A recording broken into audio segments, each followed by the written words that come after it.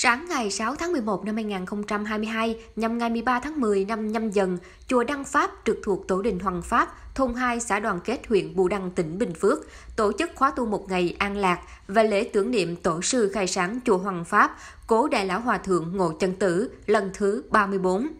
Sau khi tuyên bố lý do, Đại Đức Thích Tâm Luyện, trụ trì chi nhánh Nguyên Pháp tại Đắk Lắk, cung tuyên tiểu sử giác linh cố đại lão hòa thượng ngộ chân tử. Để đại chúng hiểu rõ hơn về cuộc đời và đạo nghiệp tổ sư một lần nữa đại đức thích tâm quang trụ trì chùa đăng pháp đã phân tích từng giai đoạn trong cuộc đời ngài từ hoàn cảnh xuất thân đến việc bén duyên và thâm nhập phật pháp giác ngộ lý vô thường tư tưởng hướng đạo du hóa khắp nơi tầm sư học đạo xuất gia Phật Pháp hóa gia đình, xã Phú Cầu Bần, Du Phương và trùng tu chùa chiền miền Bắc, thành lập trại cô nhi, viện dưỡng lão, du hóa miền Nam lập chùa Hoàng Pháp, biên soạn kinh sách, cho đến lúc viên tịch.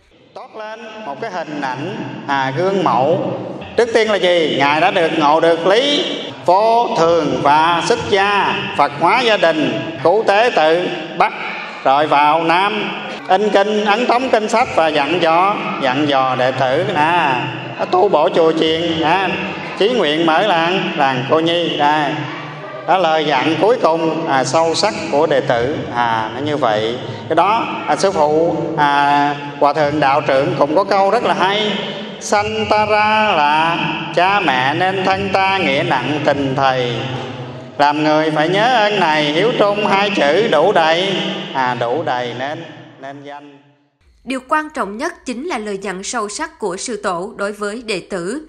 Mỗi khi các đệ tử xa gần về thăm, Ngài luôn nhắc nhở, hãy tinh tấn tu hành, chuyên cần niệm Phật, đừng để vọng niệm theo trần cảnh, vẫn biết nhị đế phải dung thông. Nhưng trong cái tùy duyên, với muôn nghìn phương tiện thiện xảo ấy, các con đừng để bị nhấn chìm trong tục đế, mà phải như đó sen thanh khiết, nơi vùng bùng lầy nước đục. Tuy bất cứ hoàn cảnh hay trạng huống nào vẫn xứng đáng với con dòng họ thích, đừng phản bội lại lý tưởng của chính mình.